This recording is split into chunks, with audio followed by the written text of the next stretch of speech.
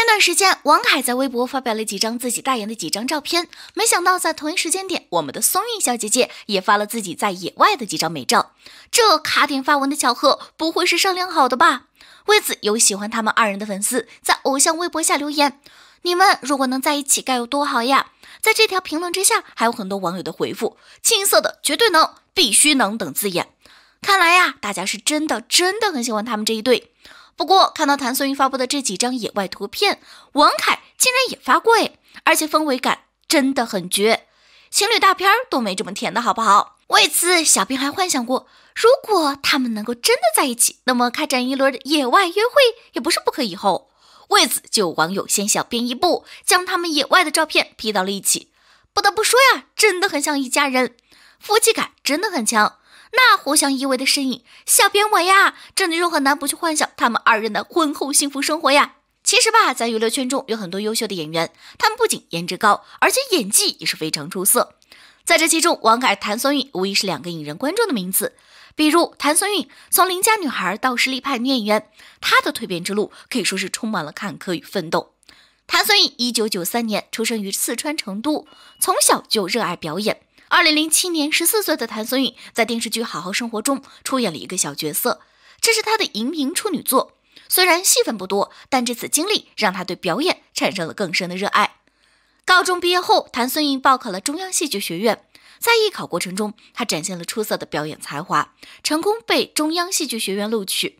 在大学期间，谭松韵努力学习表演技巧，参加各种实践活动，逐渐积累了丰富的表演经验。二零一三年，谭松韵在电视剧《幸福攻略》中出演女主角，凭借自然真诚的表演赢得了观众的喜爱。此后，她又主演了一系列影视作品，如《小时代》《你好旧时光》等，逐渐在演艺圈崭露头角。二零一八年，谭松韵主演了电视剧《知否知否》，应是绿肥红瘦，在剧中饰演聪明机智的明兰。她凭借出色的演技，将角色的性格特点刻画的入木三分，赢得了观众的广泛好评。此后，谭松韵的演艺事业进入了快速发展阶段，主演了一系列热门影视作品。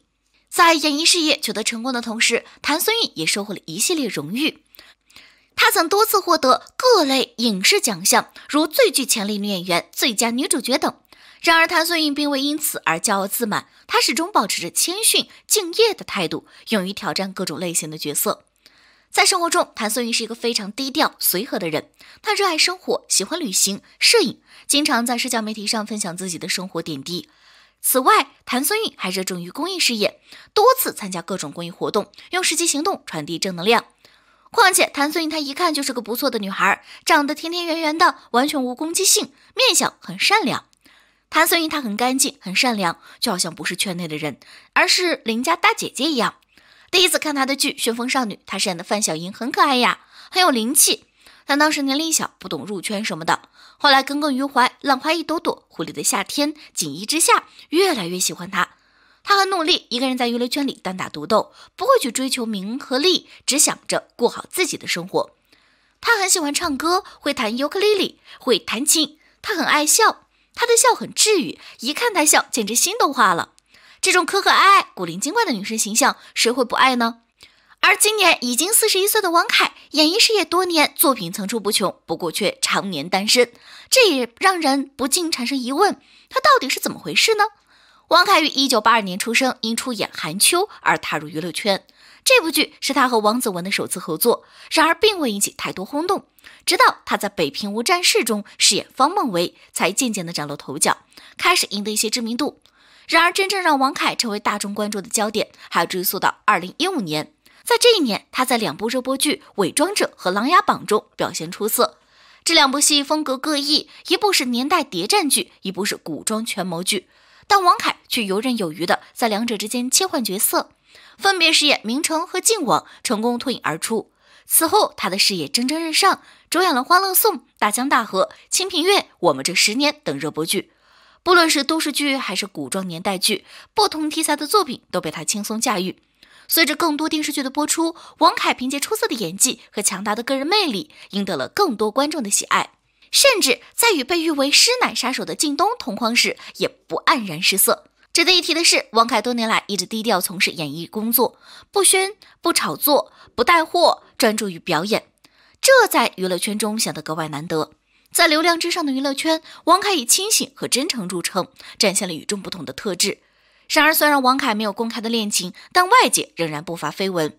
据不完全统计，王凯有过四位绯闻女友。第一个是王子文，两人曾多次合作，但后来王子文与吴永恩官宣恋情，绯闻自然不攻而破。第二个绯闻女友是蒋欣，甚至有传言称他们准备领证结婚。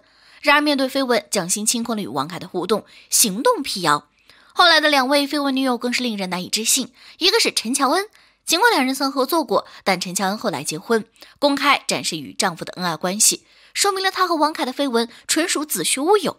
另一个是王鸥，她与王凯曾多次合作，但被拍到与何九华一同逛商场并一起回家，多次被拍到举止亲密的情况，引发了疑似恋爱的传闻，而双方也未否认，间接证明了王凯和王鸥的绯闻是虚构的。可以说，从甜美可人到美艳御姐，各种类型的女明星都曾和王凯传过绯闻，最终都以不攻自破告终。